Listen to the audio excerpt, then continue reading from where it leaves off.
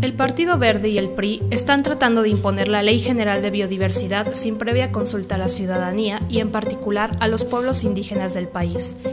Hoy nos enfrentamos a la mayor amenaza de todas, la iniciativa que ya ha sido aprobada por el Senado dará luz verde a la explotación minera en áreas naturales protegidas, legalizando a su vez el despojo a los pueblos indígenas de su patrimonio biocultural. Pues a mí no me gustó que nos movieran para acá porque ahora nos quedamos sin trabajo. Mis hermanos tuvieron que irse.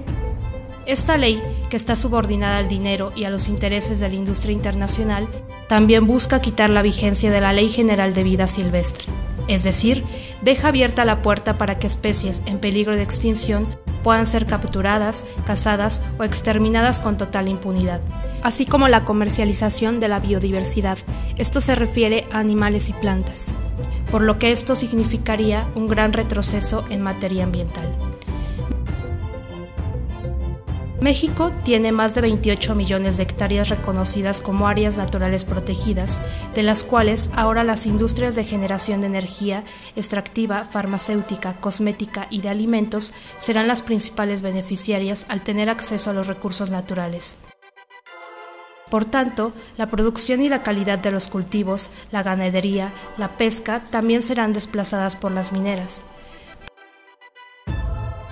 Por su parte, los legisladores del PRI y del Verde se han negado sistemáticamente a abrir un proceso amplio de participación social y a convocar a consulta esta ley que viola la protección y el ordenamiento ecológico. Lejos de ampliar o reforzar la protección y conservación de la diversidad biológica y la riqueza biocultural asociada, esta ley es profundamente destructiva de los recursos naturales del país, ya que presenta un marco legal lleno de incongruencias que entran en contradicción con los principios del Convenio de Diversidad Biológica. Otro de los puntos controversiales de esta ley es que el gobierno otorgará permisos para nuevos megaproyectos turísticos en zonas de alta fragilidad.